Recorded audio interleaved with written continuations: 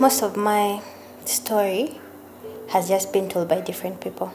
And what I've been told is my father passed on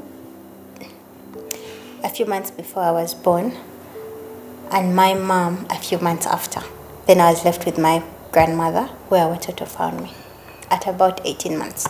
When I was rescued and brought into the villages, I was given a mom, um, six sisters, and two brothers. A few years later, I was recruited into school, started school. With the sponsors' support, I eventually graduated, and now I have a decent job and I am married. I have my own family.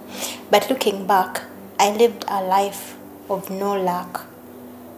I never had to worry about what I would eat or whether I would have what to wear or whether I would be in school the next month or whether I would go to university because everything had been covered.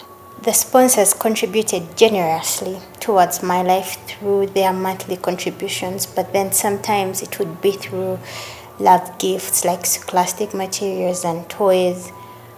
And I was so sure it was also through their prayers. I have grown into a responsible, productive Christian. And just as I was sponsored, I've made a decision to sponsor another child so that they can get the opportunity that I also got. Sponsors literally create a life like a life for someone who has no hope.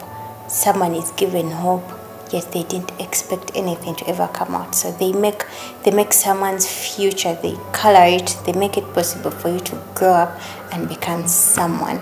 We could bury our shoes and wait for rain.